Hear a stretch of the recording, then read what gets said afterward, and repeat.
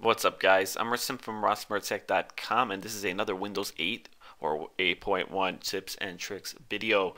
Now in this video I'm going to show you guys how to start directly to the desktop and not start in this weird app mode thing that most people don't like. So it's pretty simple to do. All you have to do is right click your taskbar here.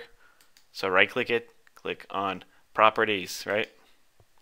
Then in the properties we want to go to navigation and we want to make sure we click on when I sign in or close an app on the screen go to desktop instead of start. So make sure that's checked. Click apply, then click OK. Then you're good to go. All you have to do is restart your computer and um, you should uh, start directly to desktop and bypass that whole app interface thing. So that's pretty much it for this video. If you guys like this video, please give me a like. If you want more videos like this, please subscribe to my channel. I'm Rasim from rasmurtech.com and thanks for watching.